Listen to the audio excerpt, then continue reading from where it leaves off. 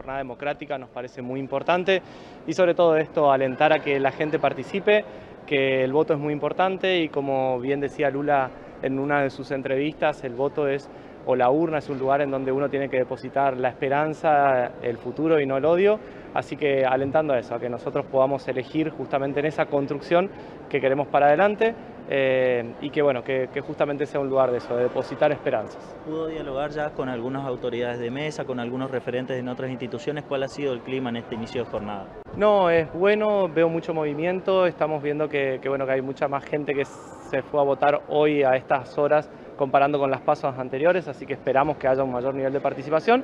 y obviamente, bueno, eh, atento a todo lo que podamos serle útil a aquellos que estamos afuera de esta tarea que, que, no es la de fiscalizar o estar encargado de una escuela. Bueno, Diego, vimos que estabas hablando con gente también, ¿qué te dice la gente?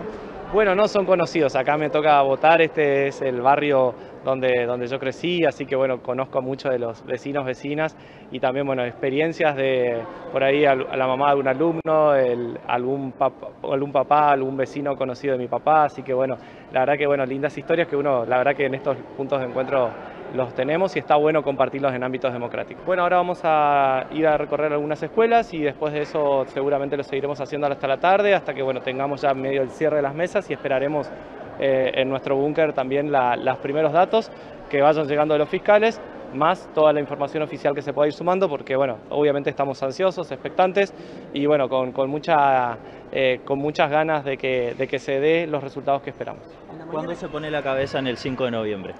Eh, el lunes, el lunes, ya estamos, ya estamos con la cabeza, estamos queriendo arrancar, obviamente que tenemos una una,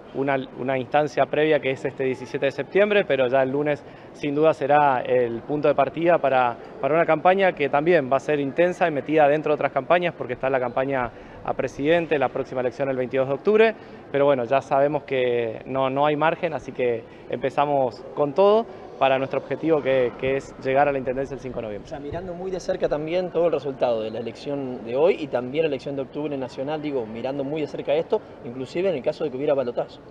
Sí, sí, sí. De todas maneras, cuando uno mira las experiencias de votos últimas, la verdad que la, volatilidad del voto ha sido enorme, entonces también uno entiende que tenemos hoy un, votante, un vecino vecina que está hiper calificado y que va eligiendo de acuerdo a lo que considera que es mejor en cada instancia, para la provincia, para la ciudad y también para el país. Entonces, eh, no hay que subestimar al electorado, nosotros vamos a salir con una propuesta, vamos a salir con todas las ganas, con todo el equipo, porque queremos que queremos gobernar esta ciudad y creemos que tenemos con qué.